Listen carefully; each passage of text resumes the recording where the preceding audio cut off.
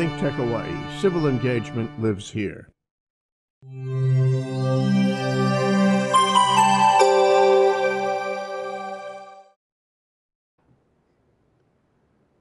Aloha. My name is Mark Shklov. I am the host of Think Tech Hawaii's Law Across the Sea.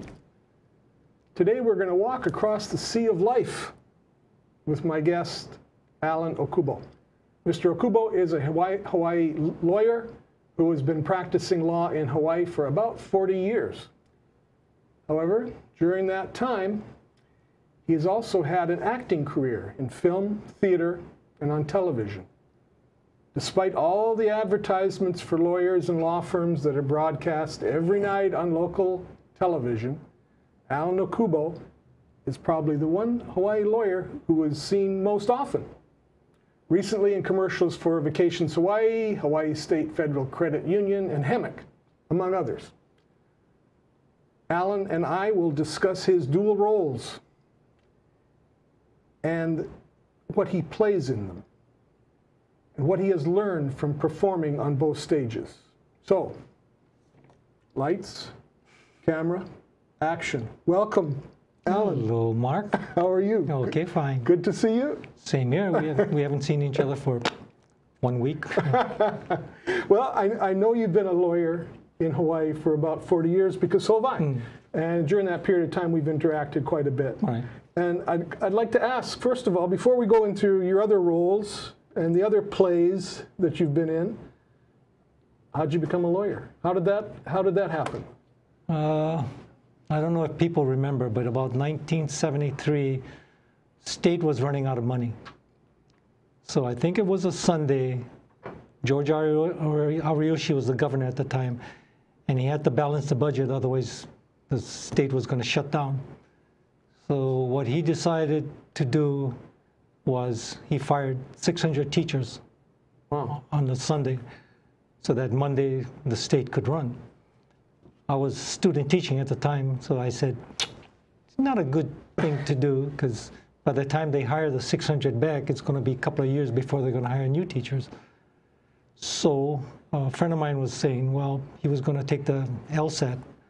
I said, what's that? He said, well, it's so you can go to law school. I go, yeah, well, I'll go try to take it too. So took it, didn't score very high, but I somehow got into Cal Western, so it worked out after that. So Uh, Well, how times have changed. I mean, when you when you think about now, we need teachers nowadays. Uh, I don't know if we need more lawyers, no, but uh, we we need we need teachers nowadays, and then I can't imagine them firing all those teachers. So at that point in, in your life, you figured this there may not be a future in teaching. You you were, you thought you might want to be a teacher, and so you you, you changed your course. It's funny how events outside of our own lives will will make the, our course and what roles we play change. I wanted to be a teacher because you get summers off, you get spring break, you get Christmas break. I figured that's a good thing. You know? Uh, okay. I didn't factor in all the hard work you had to do in between. But, Yeah, know, daily. Yeah. Yeah, right. And, and now, um, so you, you you decided to try law because a buddy su- su- suggested, hey, give it a shot. And you ultimately went to law school. But during that time, were you involved in acting also? Uh, when I was at UH, I needed one more class. So I literally went through the whole catalog to look for a class that I didn't have to really study hard for. And I came across beginning acting. It said no papers, no exams. So I called them. I said, Is this true? No papers, no exams. They said, Yes. I said, Okay, sign me up and I had no idea what I was going to get into. So I, that's basically how I got into it. Otherwise, I, I wouldn't have even gone into that direction. And prior to that, you, you had no no idea, no Yeah. thought. You weren't involved in a class play sometime that. Stage fright. I couldn't, can't, couldn't even give a speech. I stood there and I stammered. Well, t- times have changed. Now, now you do a lot of uh, acting and you play a lot of roles. Give what, what give us some idea of what you've been doing in, in the acting uh, career, uh, and then and then maybe we'll go back and talk a little bit about your attorney career. Okay, well, when I first started, after I finished taking two classes at UH on acting, and most of the people were going to be theater majors, and they were, because you're a theater major, you go do plays, which takes two, three months, and I couldn't, I couldn't see doing that. So what I did was I called up Hawaii Five-O. I said, uh, "How do I sign up?" So they said, "Come on down." So I went down there, filled up the paperwork. So I started working as an extra. On Hawaii Five-O. Yeah. And that was with uh, Jack Lord. Jack Lord. Wow. Okay. Yeah, so that that was how I got into the business because uh, uh, Margaret Doversola was the casting director at that time for extras, and then later on she became uh, casting director for actors. But when she was in casting for extras, she used to call me up and said, "Bring your white outfit," because I was a hospital attendant. So I had I had outfits all stacked up. Said, "Bring your bring your white one." Okay. And a couple of weeks later, it says, "Bring your blue one." Okay. What was the blue? That was for like uh, attendance for something else, but not, but not not hospital related. You know, like workers for something else. Okay. So it, it was like part-time job for me. So I was lucky because I used to get called every week, two weeks. I used to work. I mean, it wasn't great money, but back then it was, you know, it was was good for a part-time job because you could bring your books and study. Because most of the time you're just sitting there doing nothing. So you were still in college at the Yeah. time. Okay. And then you graduated, uh, and you decided teaching because of quiet and effective governor is not going to work. So you went into law. What happened on the law career? Are you doing these things at the same time? You're doing the, the law studies and acting? Yeah. Yeah. And then, and then you, you went through law school. Did you, and you were on the mainland, Cal, Cal Western.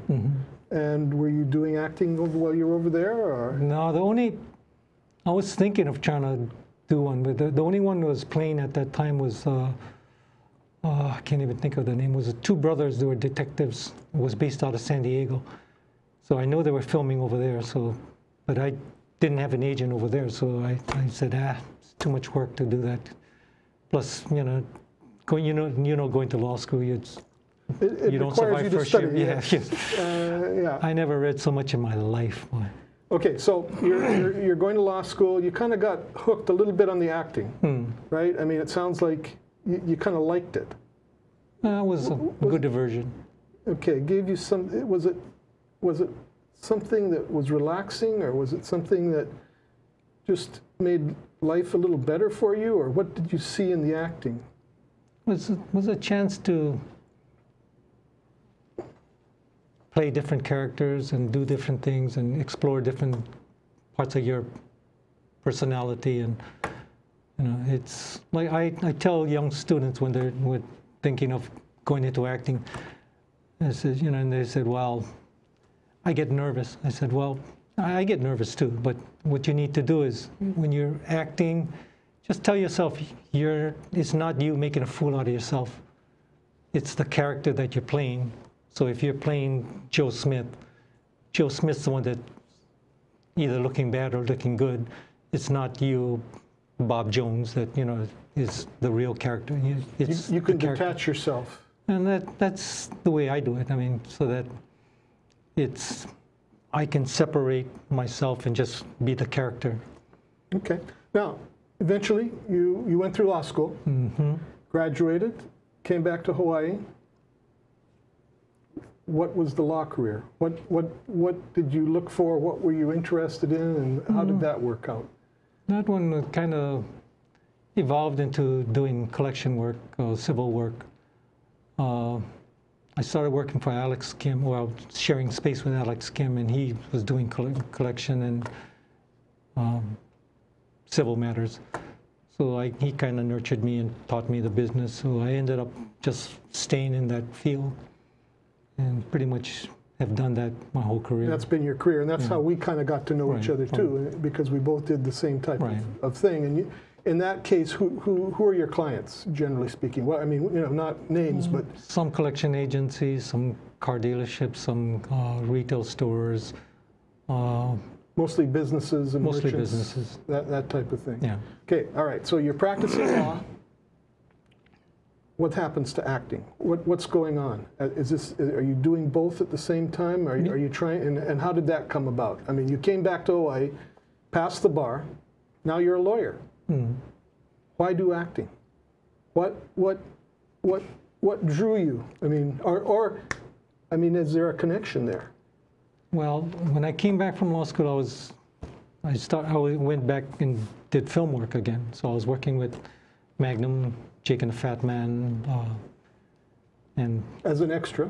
no, no, I, I see. Once you once you qualified to be an actor, you switch unions. So I oh. switched unions. Back then, it was two unions: was SEG, which extras, and SAG was actors. I see. So when I qualified for SAG, I just switched. I just went straight into acting and didn't do extra work anymore. I just went into act, the acting Okay, gigs. well, you're going to have to tell us what the difference is. the amount of money you get. Okay, well, that's for a, the for the time you're gonna work, the amount of money. I get. So see. It, it was worth it to be an to do acting, not extra, because extra was gonna take too much time, and you're not gonna get. You know, you can't give up your day job for doing doing extra work. I see. So be, being an extra is kind of like in training to be an actor. Well, back then it was. I mean, now the the pay is a little better for extras, and if you work it right, some people some people can make a living because, especially if you go to the mainland, because there's so many different studios running around. You can go every day. You could be working someplace, so you could you could location. make a living. You know, over here it's restrictive. You got Hawaii Five O, you got Magnum, and that's the only two studios running around right now. And you got independent films coming in, but uh, it's not enough that you're going to be able to make a living. So uh, it's it's kind of hard to justify doing that over here For full time. full time. Yeah. So okay, but but you still like to hold on to that. You you like you like the acting career on top or in conjunction with the lawyer career. Right. Was is there anything you found uh, that was similar about both? Was there some thing in both of those roles that you played that were that was similar or that that worked together or or, or were they so different that that's what attracted you to them? What what Well, the similar similarity is you you have to pretty much speak or convey. Whether you're an attorney or whether you're acting, you you have to convey whatever you're trying to you're talking to an audience? Right. So uh, that part is similar. Um, the acting part is you're there's nothing on the line. I mean, you, you you're not. As, well, I don't do criminal, but if you were doing criminal work and if you don't do it right, somebody goes to jail. You know, but in acting, it's you know usually, especially for film, they they can reshoot it, and as long as you don't do, get reshot too many times, then the director won't get mad at you. But if you keep screwing up, then they say, okay, give me somebody else. So you need you need to be prepared. And that was that was a good thing about Jack Lord, because his model was one one shot every time. Wow. Because back then it was film.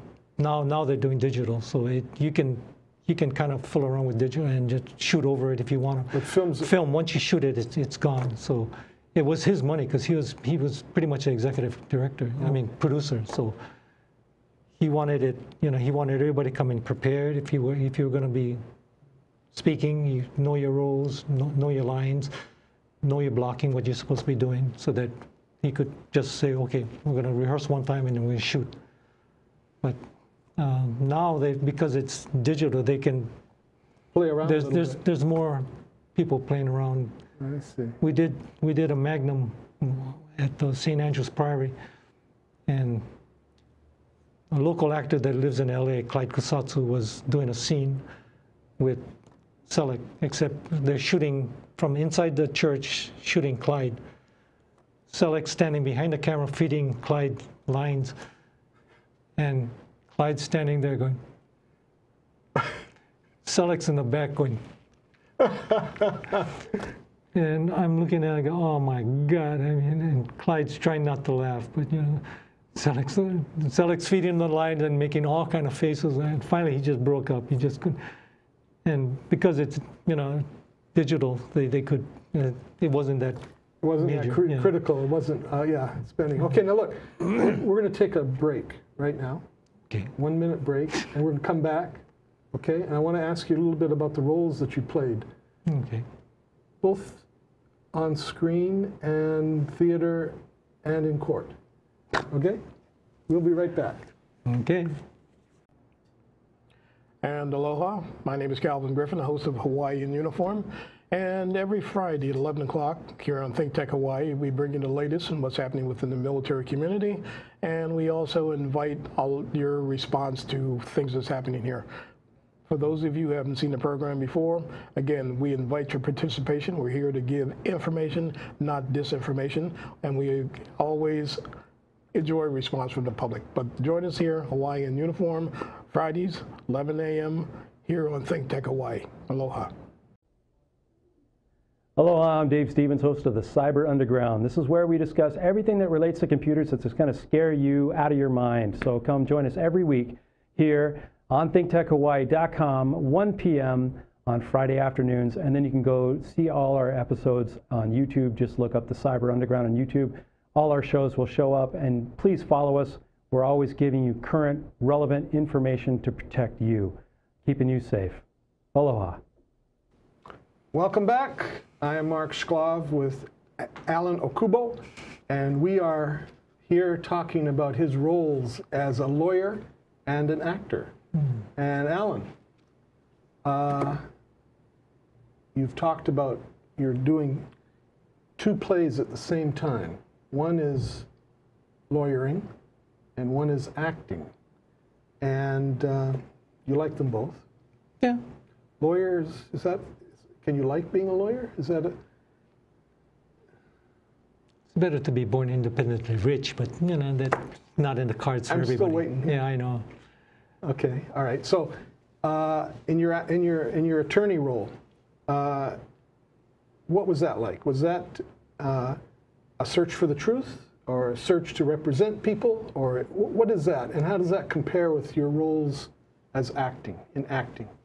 Well, to just try to, well, you, you know, it, it, you represent your client and you try to put your client's facts in the best light for the judge. You know, so, and And that, that's your audience, is Yeah. the judge. and I I don't, I don't know when you started, but when I started, I had no clue what I was doing. I walked into the room and I stood there, and judge looked at me and says, "What do you want?" I go. he says, "I think you want a default." Okay. uh, "Do you want this?" Yes. So I- the, the judge was like the director in, in yeah. a way. I, He- guess, I mean, I, I had a learning curve, and it took me a couple of months before I figured out what. It, was. well, even in law school, it, it took me it took me almost a month to figure out what torts was. I thought it was a baking class. I mean, literally, I was thinking, what, what is torts? I mean, you got criminal law, you get civil law, you, and they call it torts, and they never just said it was it was non-criminal law, but they just call it that fancy word. Okay, now in, in your uh, law career, did having that background in acting help at all? Uh, I guess because it. If I if it if I didn't have that, I may have been more nervous than I would have normally been. So, I kind of could detach myself a little bit and say it's the lawyer talking, not not me per se, but you know. Okay, all right, that makes sense. Now, I asked you for some of your favorite roles, and you sent me a couple of photos, one of uh, Matsujiro Otani. And let's see if we can have his photo up. Now, who is this, and what, what was this about? Uh, Matsujiro Otani was uh, born in 1890, died in 1972.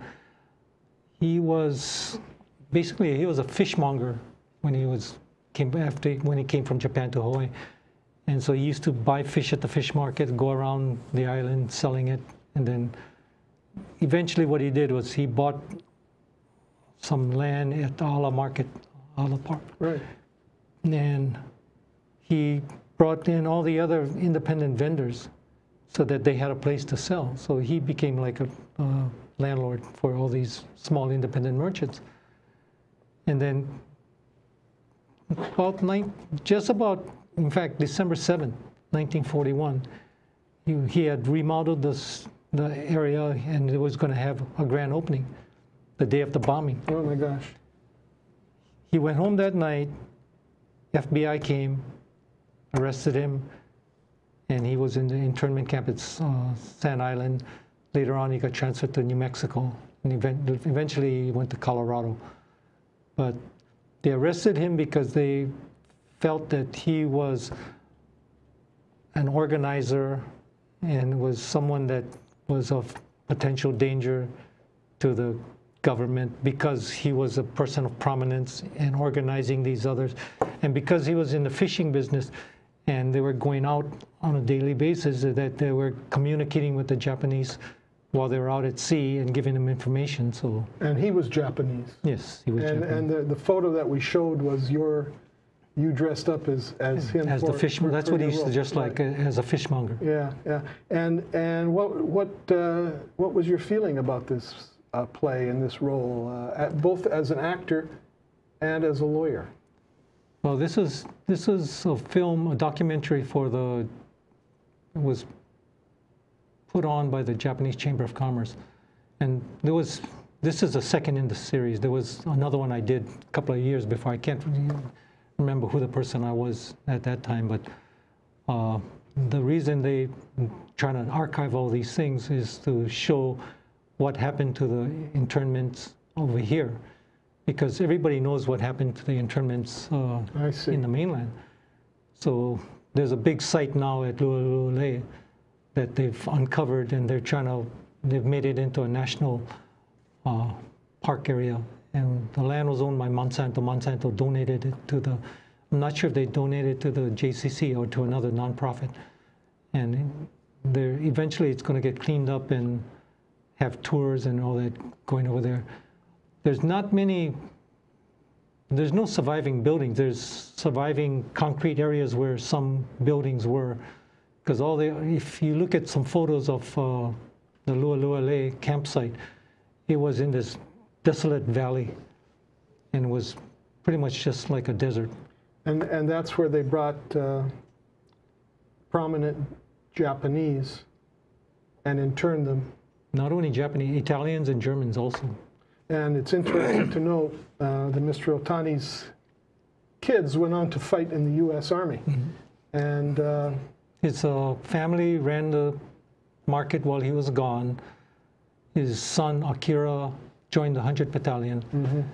And just before he was going to go to Cassino, Italy, which the unit that went there pretty much got wiped out, yeah, decimated. he got called into the officers candidate school at the last minute. So he locked out as far as having to go. Uh, his other three sons also were in the army, but they weren't overseas, as far as I know. I'm not sure. There was not too much history on that. And another son was here doing uh, broadcast intelligence work for the in Hawaii. Oh, you know, maybe there are some lessons there for us to learn as we go forward here in the United States. Uh, you also sent me a photo of. Uh, Oh, a- one, a one more thing about Otani. After he came back from internment, he started United Fishing Fishing Agency, which is where the fish market is now. So you know, so anytime they buy fish, they're buying it from United Fish Market, which is a fishing agency, which is started by him. And li- life went on for him, and Yeah. he said he put it behind him, moved Yeah. on. Great. Yeah. You, you, you sent me a photo of Erronius. Erronius. Right. What was that about? Let's. Uh, there's Erronius, uh, Yeah. you in that role. What was who is Erronius, and what where is that from? Okay, uh, this is from a play. Uh, funny thing happened on the way to the forum that was at uh, Manoa Valley Theater. Uh, Erronius was uh, not. A, I think he was either Greek or Roman. I wasn't. Even, couldn't. In fact, I think it was Greek. But his job was to roam around, looking for his children, his twin son and daughter, that were stolen from him in infancy, and Pseudolus, who is uh, was played by Zero Mostel in the movie and in the play, uh, was uh, was played here by Ren Helford, but his his tricking him into leaving so that they could use his house to do some other things So Nefarious. Yes, nefarious. Oh, so okay. he ended up roaming seven times around Rome, the seven times seven, seven hills of Rome, looking for his kids. Which the good part is what he actually found them, or something. At the end, At yeah, the it it ended up the his son was a captain in the Roman army, and his daughter was a concubine, and they were going to get married, and then they found out that they were actually brother and sister, and that split that part up, and then he found them, and they everybody lived happily ever after. So you you've done drama and comedy both, and uh, which do you prefer, or do you like them both? I like them both. I mean, it's two different mediums. Uh, drama, you get, you can let out different parts of your emotions and feelings and convey them. Comedy is, you know, again, a different part of your emotions and, you know, so it's it's two different mediums, but both of them are fun. Now talk about fun. Hmm. All right. You also do commercials, and I see them when I watch TV at night. Okay. Hmm. And I want to ask you about these commercials. I'm dying to know something. Vacations Hawaii. You do one, and it shows you in Vegas. Mm-hmm. Is that? Did you really go to Vegas? I mean, is that Yeah. really what happened? They they sh- they shipped you to Vegas to do a commercial. Yep. You got paid for that? Yep. What was that like? What was that experience like? That was that was fun because uh, we left Friday, came back Tuesday, so we had to. We only worked two out of four days, so you know. So you're really having the experience too. Yeah. And and as part of that, I mean, did they film you doing doing those things, or did you get to do those on your own, and then for the commercial actually had to act? Well, the commercial part we're acting, and then the rest of the time we do whatever we wanted to do for the other two days. So they weren't filming you actually gambling and stuff. That was just all play acting. Uh, But you knew how to do it. yeah. Well, I, don't- as long as it's not my chips, it's, it's fine. Okay. Um, now I want to ask you just before we close to tell us what have you learned about acting and law in your career? well, whatever you're going to do, whether it's acting or law, uh, commit yourself to what you're going to do, so that whichever one you're doing, or both, or whatever, when you're doing it, you're doing it to the best you can. And we were there's there's a lot of theaters now in, in Hawaii, and uh, there's more opportunity for people to get into acting over here now. So it's it's a good opportunity for people, younger people, to jump in. And, and the good thing now, I've, I've seen a lot of high school plays recently in the last five five years, and the talent level has just gone up so much. I mean, it's just unbelievable. Would you tell those uh, young actors to become lawyers also and do the same same roles that you have played? Or I tell I tell everybody who wants to be a lawyer says be a dentist. You get paid to inflict pain. okay, well, all right, Allan. So I suppose both of us will come back eventually and play different roles, uh, dentist and neurosurgeon or something like that. And uh, I appreciate you coming today, learning about your dual roles and what you've played in acting and as an attorney. So thank you very much. You're welcome. Aloha. Thank you.